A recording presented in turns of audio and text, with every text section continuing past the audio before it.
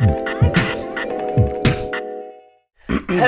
and welcome to Andertons TV. We got a special day today because we've got Andrew in from Antelope Audio.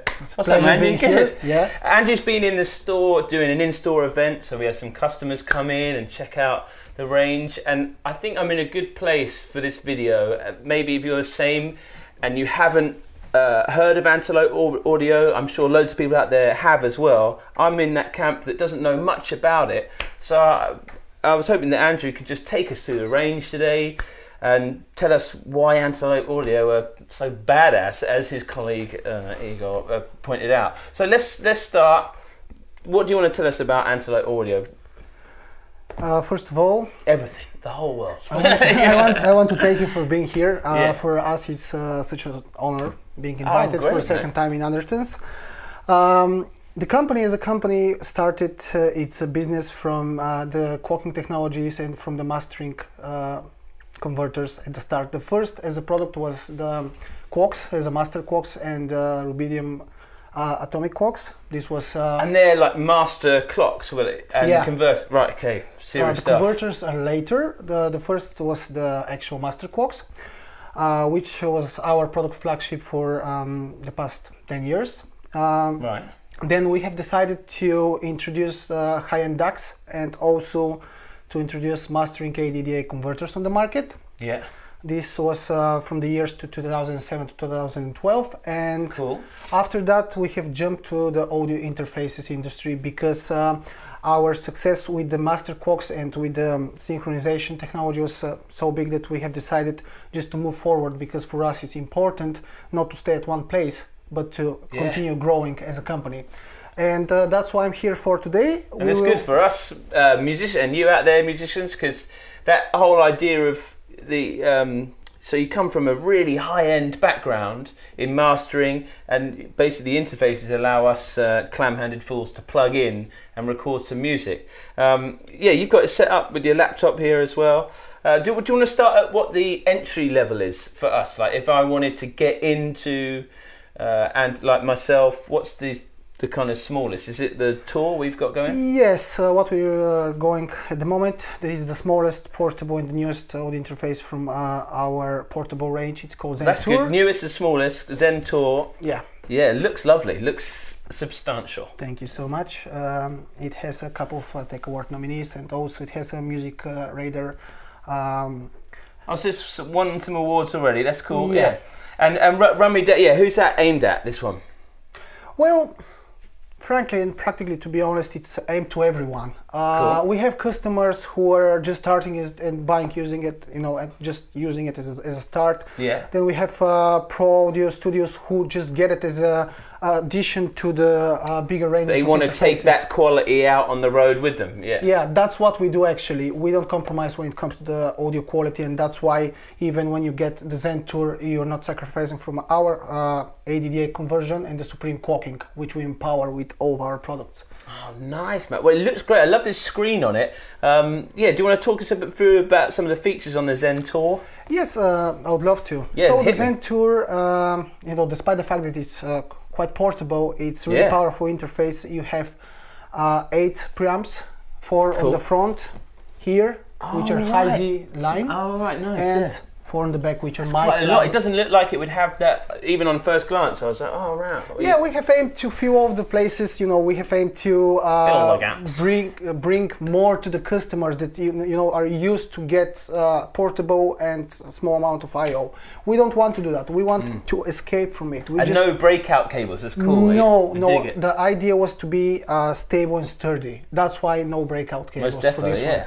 Yeah. Serious stuff. We really uh, like the design, and we have spent a lot of time of find our way when it comes to designing the, the gear. yeah. But we believe that uh, we have achieved it because all of our interfaces are rock solid, and Yeah. we're proud of it. They're quite handsome as well. Thank you. I think you got a We handsome need, to, interface. we need to send regards to our graphic designers and to the R&D department as Oh, well. yeah, my boy is a graphic designer. Yeah. I like it, and uh, I like the antelope. I like. What does that do? What does that button do? Well, this button do is uh, actually it's multifunctional button. Oh, that's you may, cool. You may change the functions of the button. I don't know if you can see it on the camera. We've got a wicked button with a little antelope. like mid-air. Yeah. I just think that's cool. At this at this stage, uh, the function uh, basically changes the monitor routes of the device because this device uh, comes with the two separate. Oh yeah, monitor changed the screen. Great Yeah, screen. So we got eight eight um, ins, analog ins there. Yeah, if you if you press here, Touch. and there is uh, antelope button here. Yeah. You press it, you might just change Oh, of the device. dreamy, dreamy. I, I've knocked us off course. So we got the eight ins. Uh, looks like we got a couple headphones. Uh, uh, in addition to the 18s, this you know uh, doesn't uh, end with the device. You have two headphone outputs. Yeah. You have two reamp outputs, which are perfect for amping, reamping of these um, amps with uh, with your already recorded guitar. You have eight line outs on the back, which is also good if you want to spread more headphone out mixes. If you have headphone amps, Yeah. it's great if you can plug it here. So not only have you got the two powered ones, You you've got, eight additional lights on the back as well. Oh, like on a on a din On a thing. Yeah. Oh, that's it. Yeah. Yeah. Nice, man. Oh, cool. And how's it? That's going in via USB. Dreamy. It's a hybrid audio interface. Not only over USB, it uh, works uh, under uh, Apple certified Thunderbolt as well. So Love the Thunderbolt. That's cool for anyone with a Mac. It's nice because it's a spare port. yes, Yeah, it's it's nice to clear things up. it's nice, a spare port. We're really proud that we have achieved uh, this uh, multi-platform connectivity because.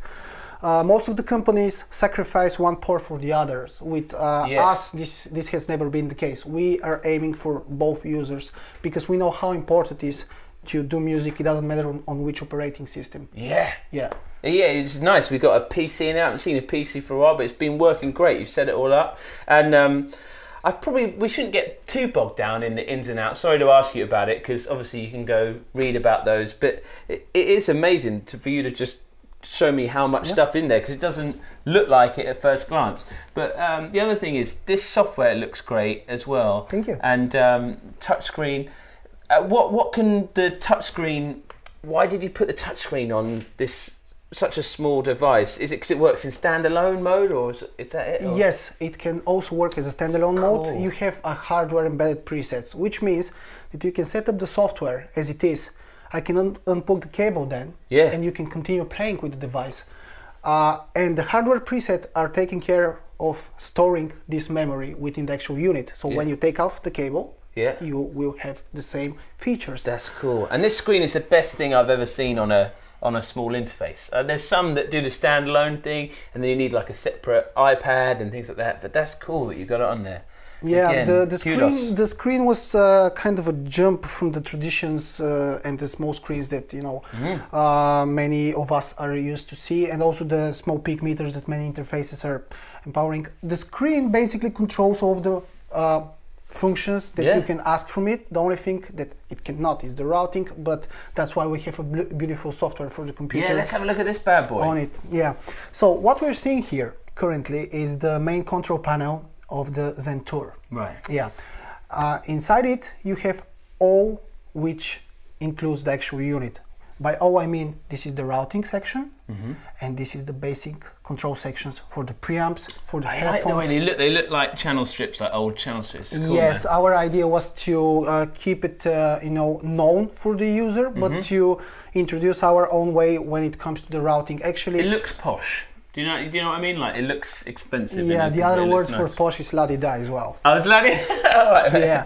So uh, the routing matrix is uh, the most powerful that I've seen that I've used so far. I'm not saying that because I work for Antelope. I'm saying this because it's really It's just a easy. fact. It's just a fact. It's really easy to work with it. It's divided in two sections. You have the sources, so the actual signal Mm-hmm. Sources, going in? Yeah. and the outputs. That's it. Everything is color coded, and everything Like an amazing patch bay. digital patch bay. That's what I used to, to say it. It's pretty simple. What you have to do when you want to do something, simply drag and drop. Like in our case, if I just highlight certain channels, let's say that we want to send the preamps, channel. Yeah. yeah, the preamps Mhm. somewhere. Down to mix one, and that's literally. It, that's it. I dig that. I can imagine.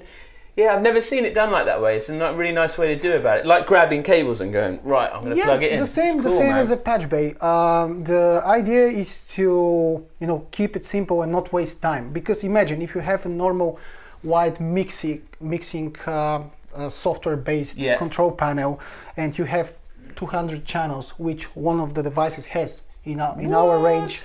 Uh, what you do with it? You need to scroll yeah. down every day. I And, mean, and uh, is this software, because it says the Zen Tour there, is this software similar for all your interfaces across or does it change? Yes, actually, it is quite similar because the product line, uh, when it comes to the software, does not change this a lot because we want to keep it simple for And that brings users. us on nicely. Let's not get too bogged down because obviously we're going to look at we're just in, an introduction really into Antelope, and we, we've been in the store. I think I asked about a year, so we've been selling them. And uh, I know that Brad, who's the high tech manager, is a big old fan. He he's a big fan of it, and the guys in the store seemed really happy with their products today. So we got this chat, and should we just talk up through the range or wherever you want to go, man?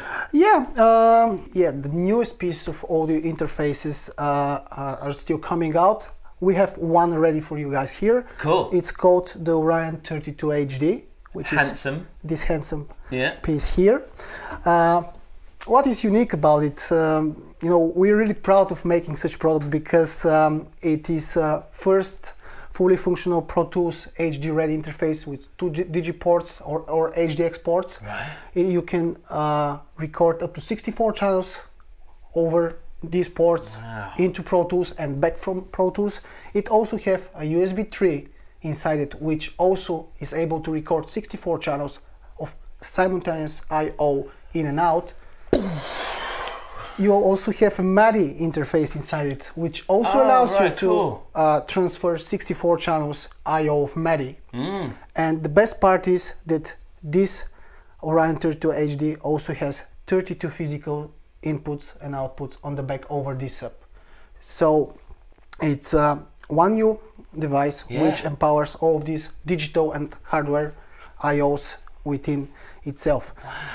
This is not the only thing which makes the, um, uh, the Orion really powerful tool within uh, each studio. The other stuff are the uh, legendary and uh, supreme clocking technology, which our master clocks um, provided to the users for the past years, and we have uh, taken advantage of this one, and uh, we have equipped all of our interfaces with the latest clocking technology from Antelope Audio. Oh, so you just kind of upped the. Uh, you said the clocking technology. Yeah, basically we use um, a special oven controlled clocking system, which basically uh, keeps the clocking uh, into a stable temperature, Mm-hmm. which um, produces best results. And we use special algorithm. Wow, so the temperature really makes a difference. Yes, uh, yes, it does. Uh, Wow, this is our way of, uh, you know, of uh, using and utilizing the quartz. You know, uh, I always want to to say to the customers, and I'm always saying that even if you have the same uh, clock into the each devices, uh, the importance is how you can take the most out of it. Even if you have the same converters Mm-hmm. within the uh, the two audio interfaces from the different brands, the important thing is just to uh, make it work better. Mm-hmm. And this is what we're good at. We want Pushing forward. Yes, Yeah, yeah. And also, I wanted to say something else about the Orion 32 HD. Yeah. It's um, also utilizes not only the clocking, but it, it has the latest FPGA power technology from Antelope Audio, which is a real-time I heard about. Uh, sorry, sorry to jump Yeah. in. FGPA. FPGA. F. Yeah. FPGA. I did a synth demo earlier on today, and that had F. They had the same thing. Is it like a new type of processor? Mm, Is it's it like not a new power? It's not a new type of processor. Okay. It's just um, Very you know, powerful. Yeah, very Okay. powerful processor which is uh, running on uh, uh, logical al- algorithms, and basically uh, it operates faster than the normal DSP engines. So it allows us to model uh, vintage equalizers, compressors, and guitar amps real time within our devices. The Zen Tour has it. The Orion 32 HD has it Yeah. the Goliath, the Orion Studio, and the Orion 32 Plus, and the Orion 32. More or less, they have the same core technology because the FPGA actually takes care not only for the real-time processing Yeah. of the effects, but it takes care for uh, the routing and of other important major as- aspects on the device. This is the core from our uh, which handles our our devices. And I heard it earlier on on the so I'm looking forward to it because on the synth it really sounded amazing. Like, uh, and so I'm, God knows what you've been able to do with the stuff that's running in there. Should we get to? Um, the, we got a guitar plugged in, haven't we? And Mhm. and uh, would did that be using because you said we could get the guitar plugged in. Do you Yeah. is that using the FPGA Uh, stuff to run this- amp modeling? Do At this at this moment, uh, what we have done so far is that uh, I have set it up um, so-called um, uh, layering within our devices, which Right. means that I can make your guitar to be recorded without any effects. At the same time, I will pass it on to the effects. We can record Okay. it without any without affecting the first original source, and at the same time, if we just change, we Mm-hmm. can record the amp which is plugged behind me All right, cool. with uh, So let, us have a let's have a go at that. We'll get try crowbar. Yeah, I'm gonna. let's do the you'll have to forgive Yeah. some like uh, ham-fisted licks. Okay. I've got Pete's lovely Telecaster. Currently, what we're hearing is the pure conversion of the unit. I mean, no processing is made. So that's just dry. Yeah, just dry. God, it's a nice guitar, isn't it? Okay, so that's just And dry. nice units as well. Yeah, yeah, It translates well. yeah, oh, yeah, exactly. Yeah, because normally it sounds that's dry as a bone, just a DI in, right? Yeah, the Cool. the idea of our company is to bring the natural sounding into your computer as much as possible Mm-hmm. because many unit will many other uh, units may squash the sound may just distort it a little bit may Yeah. twist it a little bit but the idea here is just to uh, bring the a- actual feeling that your fingers are touching the frets and it is being recorded Yeah. i mean this is the important stuff everyone in the music industry is achieving is trying to achieve that I can tell And- you're really passionate about it, man, and I, I can, I can hear it. I'm getting the sense from it as well. So that's dry in there. yeah Shall we? Um, so, do you have like any amp modeling or anything in there? yeah let me let me show you something Yeah, hit me. the first thing that we know. will do is that we will just Oh, uh, that looks pass, cool. pass this uh, guitar through our BAE 1073 Okay.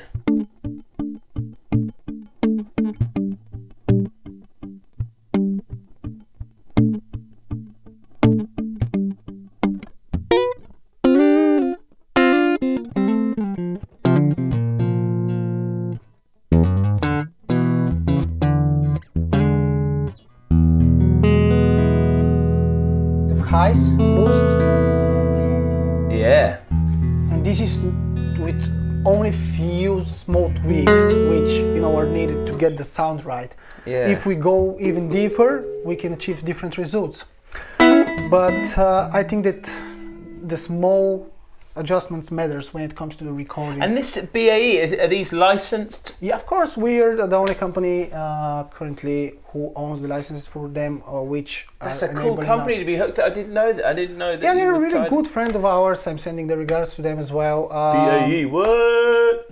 they they do amazing hardware products and Yeah. we're really proud of being uh, in uh, such cooperation with Oh, that's them cool. I think that obviously you, you know your your pedigree in the mastering world. It's almost.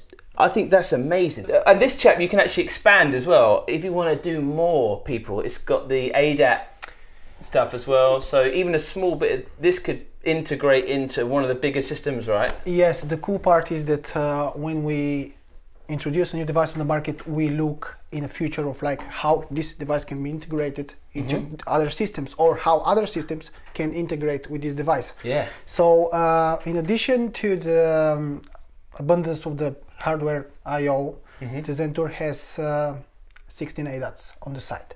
So you have 16 ADATs input, So I've got. I've always got to check for myself. Yeah. Oh, nice. which is ideal for just sending signals out to your digital mixing Yeah. desks or sending signal ins- ins from a preamp. Yeah, like know- a, I, I've done the same. Like I've bought you know cheaper preamps that I've kind of ADATed in, maybe for toms, just for extra channels, and that's so good to have that feature, man. Yeah, when, when you want to expand your channel count, it really Yeah. matters to have extra connectivity over the good old ADAT. I must say, it's super solid bit of kit, and um, I I think I overheard you and your lovely colleague earlier. Should we touch on a bit more about your pedigree in the mastering world? Because obviously we've we've checked it out. We don't want to go too much into it. Obviously, you're gonna whoever buys it is like you're saying, there's so much options. So there's no point really showing you uh, my dodgy guitar playing or what we record with it.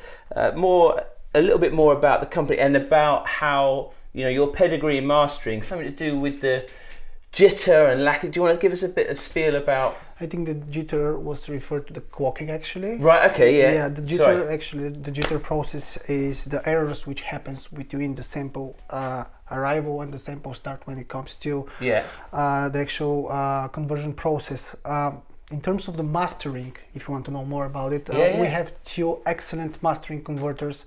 The one is called Pure 2. Uh, all of our uh, viewers can check it out on our website. Cool.